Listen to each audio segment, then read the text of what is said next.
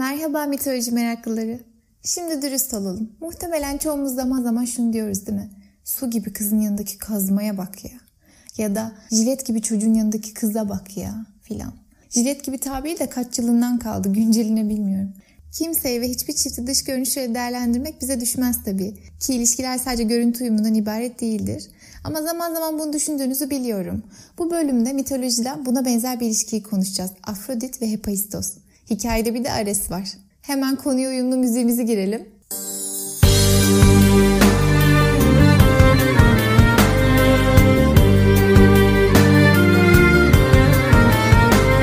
Afrodit'i artık biliyorsunuz. Aşk ve güzellik tanrıçamız. işveli cilveli. Daha çok cinsel tutkuyu temsil ediyor.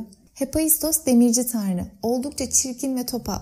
Hephaistos'un nasıl doğduğu ve neden bu kadar çirkin olduğu ile ilgili her kaynakta farklı hikayeler var. Bunların birine göre Hephaistos Zeus ve Hera'nın oğlu. O kadar çirkin ki doğduğunda Hera ondan utandığı için onu Olimpos dağından aşağı fırlatır.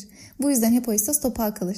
Ancak oldukça yeteneklidir. Ateşi ve demiri işlemeyi çok iyi bilir. Tanrıların saraylarını, savaş aletlerini, mücevherlerini yapar. Minik bir bilgi. Bazı eski kabilelerde demir zanaatkarları çok önemli kişiler olduğu için kabileyi terk edip başkalarıyla birlik olmasınlar diye topal bırakılırlarmış. Hephaistos'un topal olması da temsil ettiği zanaata bir gönderme aslında.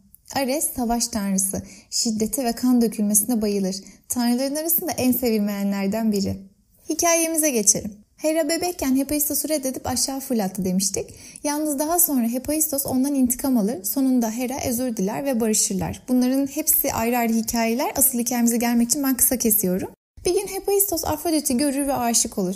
Tanrıların kralı ve kraliçesi olan anne ve babasına onunla evlenmek için yalvarır. Ezeus ve Hera da Afrodit'i zorla onunla evlendirirler. Ancak Afrodit bu evlilikten mutlu değildir. Gözü dışarıdadır. Üstelik güzelliğiyle birçok başka tanrının da ilgisini çekmektedir. Bunlardan biri de savaş tanrısı Ares. Afrodit Ares'e çok tutkulu bir ilişki yaşar. Fırsat buldukları her gece beraber olurlar. Ancak güneşin efendisi olan, güneşi oradan oraya sürükleyen Titan Helios görmesin diye de gün doğmadan ayrılırlar.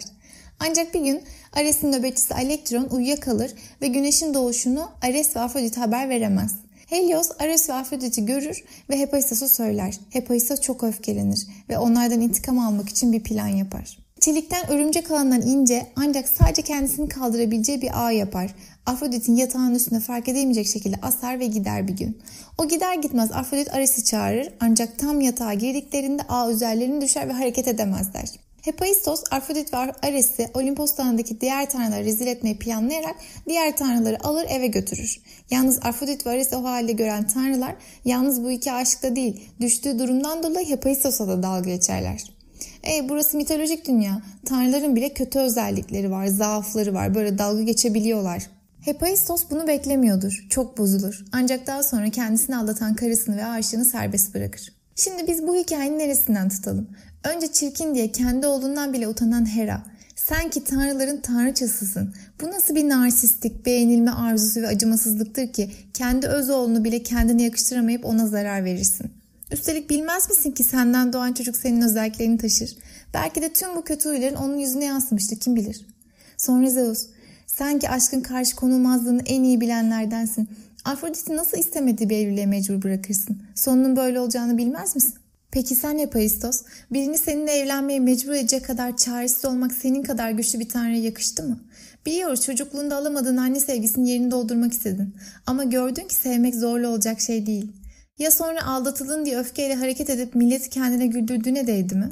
Tabii ki suç senin değil ama intikam hırsıyla zayıf yönünü tüm çıplaklığıyla göstermeden önce keşke bir daha düşünseydin.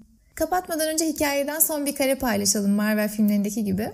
Bu olaydan sonra Ares uyuyakaldığı için başına bu işleri açan nöbetçisi Elektron'u horoza çevirir. Elektron antik Yunanca horoz anlamına geliyor. Bu lanettendir ki horozlar hala güneş doğmadan öterler. Son son bir bilgi. Ares'in Roma mitolojisindeki adı Mars, Afrodit'in adı ise Venüs'tür. Erkekler Mars'tan, kadınlar Venüs'ten söylemi bakın nerelere dayanıyormuş.